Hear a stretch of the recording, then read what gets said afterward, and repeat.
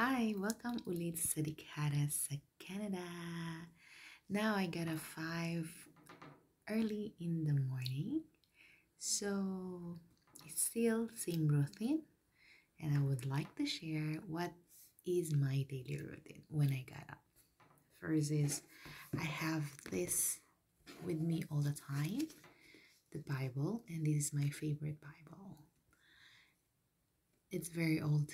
It's 15 years old. See, I gave this to my husband February 14, 2005. Our first anniversary. This is my first gift to him when we celebrated our first anniversary as boyfriend and girlfriend. And he was converted into a Christian.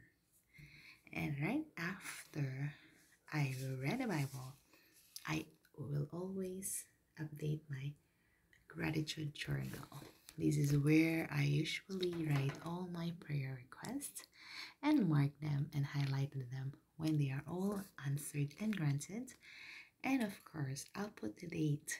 Why? It's because so at least I know when I feel down I will feel blessed because prayer is the answer. And God always there to grant our prayers.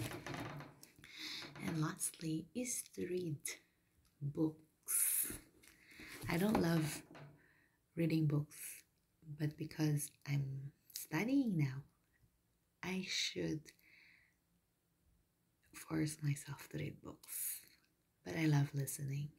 I learn a lot when I'm watching the way pastors or inspiring speakers when they are sharing good news and inspiring stories. And I love listening as well to my daughter and my husband when they are reading books and when they are sharing something that's very interesting.